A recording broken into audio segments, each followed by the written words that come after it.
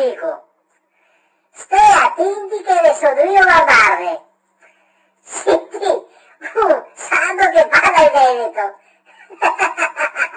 Mamma mia. Ciao a tutti.